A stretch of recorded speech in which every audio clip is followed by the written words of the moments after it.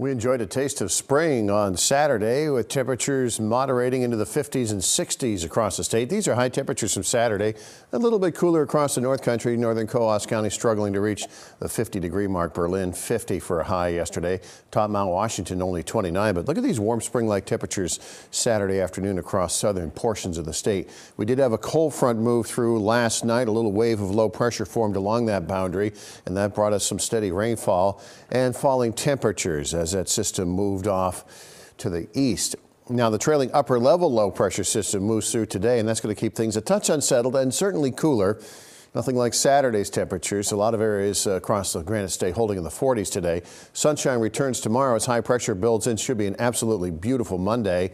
And then we get back to some unsettled and cool weather on Tuesday. Looks like mostly rain from the capital southward down toward the seacoast and southern Merrimack Valley, but we are going to be talking some snow especially across the higher terrain, the Monadnock region, areas above 1,000 feet in elevation, north of the lakes region up through uh, North Conway, and certainly up into northern New Hampshire where we may be looking at plowable amounts of snow during the day on Tuesday. Yesterday's system moving off into Atlantic Canada. You'll notice the uh, motion in the cloud cover here taking a little bit of a dip. The clouds coming southward. This is that upper level low pressure system moving through and that en energy in the atmosphere will keep things a little unsettled today. So we'll see some passing cloudiness, might see a quick hitting rain or wet snow shower, particularly across the elevated terrain. That's where we see the better chance of seeing some light precipitation. Lower 40s across the northern sections of the state today, where it's a little brighter. Upper 40s to near the 50 degree mark from the capital right down through Nashua. A little bit cooler across the Monadnock region, across the elevated terrain. Upper 40s over along the seacoast this afternoon. Overnight tonight, any leftover evening clouds will melt away. It's going to be a cool night tonight. Look at these temperatures dipping into the middle 20s across northern Coos County, right around the 30 degree mark from the Lakes region down through the Merrimack Valley, and a little bit milder southern Merrimack Valley. 34 in Manchester overnight tonight, 35 over in Portsmouth, and a little bit cooler over across the elevated terrain of southwestern New Hampshire, 30 in Jaffrey, 29 in Keene over in the Connecticut Valley. Leftover cloudiness today, and again, we may see a quick hitting shower. The bulk of the uh, precipitation today will be across the North Country. Those clouds melt away nicely. Look at tomorrow with that high pressure in charge. It's going to be an absolutely beautiful day. But the next system or systems is actually two areas of low pressure converging on northern New England on Tuesday.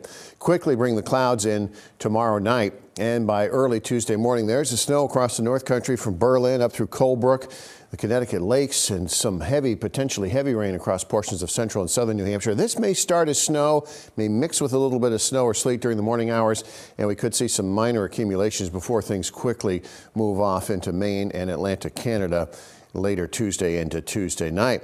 High pressure returns Wednesday with another beautiful day for the middle of the week. Now, we are going to be talking about some accumulating snowfall. This is one of our models. This is the European model bringing five inches from Whitefield over through the Jefferson Highlands over to Berlin Gorham, maybe uh, two to four inches in the Conway area.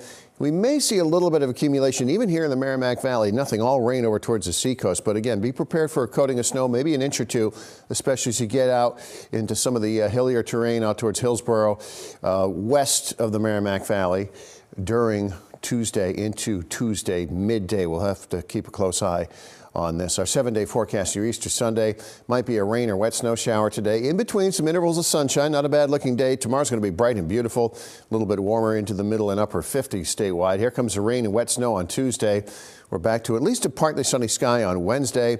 Next system, it's a pair of frontal boundaries, could bring some showers Thursday, partly sunny on Friday, maybe some showers looking ahead to next weekend.